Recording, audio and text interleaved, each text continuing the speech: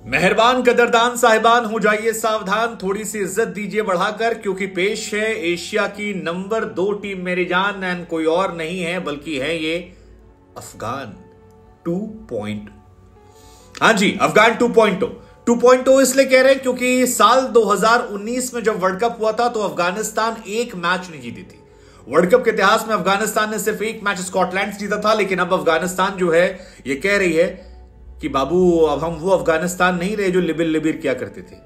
अब हमने जीतना सीख लिया है और इसके बाद गुड्डू भैया वाले स्टाइल में हमको चाहिए फुल इज़्ज़त।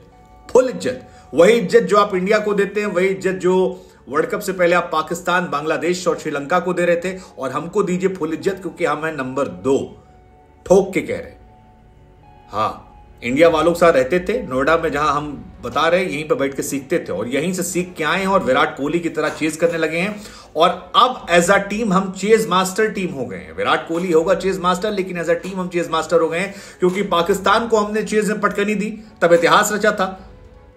पहली बार पाकिस्तान जो है, वो 20 सालों में 275 प्लस चेस करवाते हारा था और आज तो हमने श्रीलंका को रौन दिया है। मतलब जिस तरह से पीटा है, गुरुजी ने इनके कोच ने, जोनाथन ट्रॉट ने अड़तालीस ओवर लिखा था ब्लैक बोर्ड पे व्हाइट बोर्ड पे। इन्होंने बाबू ने ठोक दिया। कहा, उससे भी जल्दी हम ठोकेंगे। हम यार टू पॉइंट 2.0 हैं। अपडेटेड वर्जन है, दो ओवर मतलब जितनी तारीफ़ इस टीम की आप करेंगे, उतना कम है, क्योंकि ये टीम बड़ी बैलेंस टीम है। और बेस्ट पार्ट ये है कि जिस मेच्योरिटी के साथ इस टीम में प्लेयर्स ने रंचेस को अंजाम दिया है, वो कमाल है कमाल है।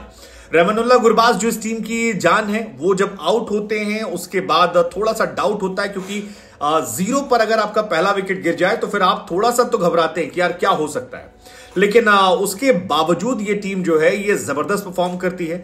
ऑलराउंड प्रदर्शन देखने को मिलता है और जिस ठहराव के साथ इसके प्लेयर रन बनाते हैं, चाहे वो इब्राहिम जादरान हो, रहमत शाह हो, शहीदी कप्तान हो, या फिर उमर जाई हो, जिन्होंने पहले गेंदबाजी में कमाल किया और बाद में बल्लेबाजी में आकर ज़ोर दिखाया और ये बताया कि मिडिल ऑर्डर बैट्समैन जो है वो कैसे आकर टिकता है, ठहरता है और प्रेशर हटाकर जिता कर ले जाता है। I think that was incredible Rahmat Shah come on यार।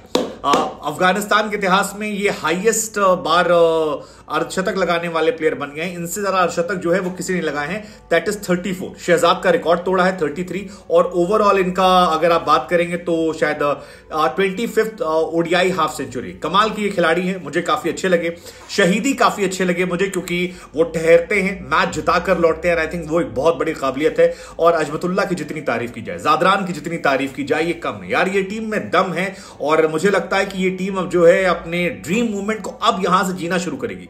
वेल well, करना चाहिए इस टीम को क्योंकि इकराम इस टीम में चोटिल थे और ये टीम जानती थी। सात विकेट से मैच जीते हैं लेकिन ये जानते थे कि इकराम जो हैं वो चोटिल हैं। इस वजह से चार ये है लेकिन अफ़गानिस्तान ने उसको प्रेशर नहीं आने दिया। वो सर पर नहीं लिया और जिस तरह से इनके कोच ने प्लानिंग की थी कि दस ओवर में इतना बीस ओवर में इतना पचास रन दस ओवर में बीस ओवर में सौ फिर डेढ़ सौ फिर दो सौ और अड़तालीस में हम बना लेंगे वो टारगेट दो सौ बयालीस का।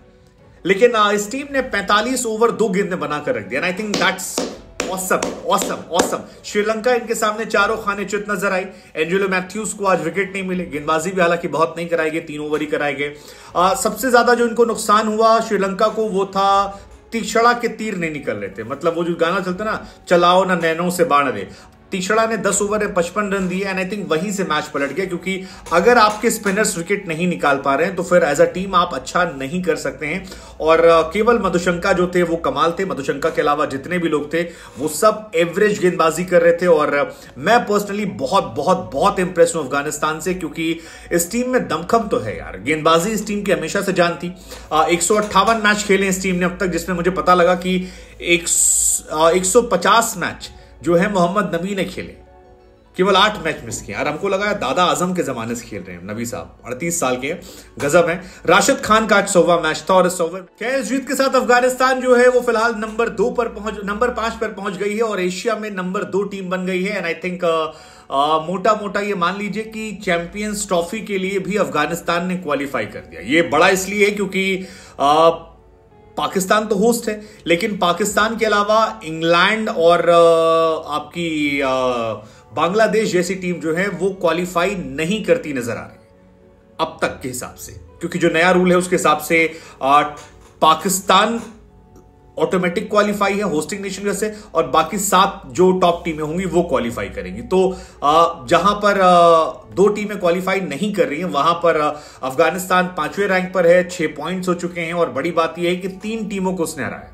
और तीन टीमें जो है, ये तीनों चैंपियन टीमें वर्ल्ड चैंपियंस को रहा है एक करंट वर्ल्ड चैंपियन को, एक पाकिस्तान को और तीसरी श्रीलंका को। और दो टीमें तो एशियन कंडीशन में हराए हैं। आई थिंक ये बहुत बड़ी बात है। आप श्रीलंका को या पाकिस्तान को एशिया में किसी दिन भी अंडर एस्टिमेट नहीं कर सकते। और हर इंसान ये मानकर बैठा था कि श्रीलंका और पाकिस्तान जो है परेशान करेंगी। ये बड़ी टीम है, लेकिन अफ़गानिस्तान ने जिस ईज के साथ मैच जीता, दो इन्होंने बनाए थे और दो इन्होंने तीन विकेट पर बना लिए। पाकिस्तान ने खिलाफ आठ विकेट जीता। आई थिंक इसकी तारीफ़ होनी चाहिए। बहुत ज़बरदस्त परफॉर्मेंस सारे खिलाड़ियों की and I think as a team they are super आज इनके कप्तान शहीदी ने 2000 रन बनाए और उनको भी इस मैच के बाद इंडिया और पाकिस्तान के जो फैंस है, दोनों जश्न मना रहे हैं। I don't know why Indian people are always happy to see Afghanistan grow अच्छा लगता है इनको। अफ़गानिस्तान के लोगों का अपलिफ्टमेंट शायद इतने संघर्षों से वो निकले हैं, इतनी परेशानियों से गुजरे हैं और उन परेशानियों को समझते हुए जिस जुझारू पना से वो लड़ते हैं आई थिंक वो एक जज्बा जो है इनका कमाल का है और इसी वजह से उनका सपोर्ट जो है वो इंडिया में इतना ज़्यादा होता है क्योंकि हम इंडियंस भी इमोशनल लोग हैं और जब अफ़गानिस्तान को आप देखते हैं कि ना उनके पास क्रिकेट सेटअप है, ना उनके पास कुछ है, वहाँ से आकर और फिर बड़े बड़े मैचेस को जीतना बड़ी बड़ी टीमों को हराना so I think it takes special talent लेकिन इस मैच में जीत के कई और भी हीरो थे, जैसे फजल अख फारूकी थे कम कर रहे थे, और गजब की गेंदबाजी की। मैं फारूकी को हमेशा हाई रेट करता हूँ। मैंने आईपीएल में भी उनको हाई रेट किया था। नसीम शाह ने एक दो बार उन्हें छकाया है, लेकिन आई थिंक वो बहुत अच्छे बॉलर हैं, और विद द टाइम वो बहुत डेवलप कर रहे हैं। और 10 ओवर में 34 रन, चार विकेट निकाले जो उन्होंने, वो इस वर्ल्ड कप में किसी भी अफगानी प्लेयर का सेकेंड ओवरऑल वर्ल्ड कप में बेस्ट है सेकेंड बेस्ट है और इस वर्ल्ड कप में बेस्ट है। 10 ओवर 34 रन, चार विकेट और फास्ट बॉलिंग में तो बेस्ट है।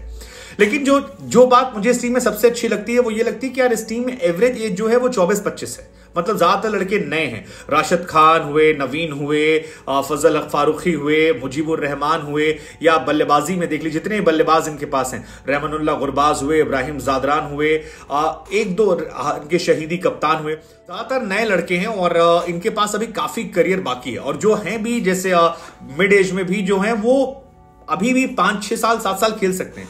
सो so, मैं ये सोच रहा हूँ कि अगर ये टीम इस वर्ल्ड कप में इतना अच्छा कर रही है तो जब नेक्स्ट वर्ल्ड कप तक ये सारे खिलाड़ी मेच्योर हो जाएँगे। जब फास्ट बॉलर जो है फारूकी वो चार साल और एक्सपीरियंस ले लेगा और प्रेशर का और आईपीएल पीएसएल या बाकी लीग्स खेल लेगा। सो so, उनकी मेच्योरिटी का लेवल जो है वो अनमैचेबल हो जाएगा। एंड आई थिंक ये टीम आने वाले सालों में अगर आपको बड़े टूर्नामेंट जीतते हुए नज़र आती जैसे चैंपियंस ट्रॉफी आ रही है या उसके बाद वर्ल्ड कप है या कोई टी ट्वेंटी वर्ल्ड कप जीत जाएँगे। सो so, मैं पर्सनली बिल्कुल शौक नहीं होगा क्योंकि कमाल की टीम है। मुजीबुर रहमान आज कमाल थे। दस ओवर अड़तीस रन, दो विकेट फारूकी वॉज़ आउटस्टैंडिंग दस ओवर, एक मिनट चौंतीस रन। अजमतुल्ला, मेरे ख्याल से मैन ऑफ़ द मैच वही बनेंगे शायद। सात ओवर, सैंतीस रन, एक विकेट और उसके बाद बल्लेबाजी में भी उन्होंने आज ज़बरदस्त दमखम दिखाया। 73 गए वो 63 बॉल पे ज़बरदस्त चेस किया और मैच फिनिश करके आए। सो आई थिंक ये सारी क्वालिटीज जो है, ये बहुत मैटर करती हैं। राशिद खान सवा मैच खेले थे, एक ही विकेट मिला। श्रीलंका में स्टार्ट कई लोगों को मिला था। नसंका को स्टार्ट मिला कन्वर्ट नहीं कर पाए। कुशल मेंडिस जो हैं, जब से कप्तान बने हैं, बल्ला मानो खामोश हो गया, उसके पहले ज़बरदस्त खेले थे। समर विक्रमा अच्छा खेले थे, रन नहीं बना पाए। सो उनके ज़्यादा ट्वेंटी ट्वेंटी वाले स्टार्ट थे। असलंका को स्टार्ट मिला, मैथ्यूज को स्टार्ट मिला, तीक्षणा को स्टार्ट मिला, लेकिन कन्वर्ट नहीं हो पाया। यहाँ पर कन्वर्ट हुआ, बाकी गेंदबाजी में श्रीलंका कुछ रहा नहीं। लेकिन सवाल मेरा यह है कि क्या अफ़गानिस्तान 2.0 सेमीफाइनल में जा सकती है?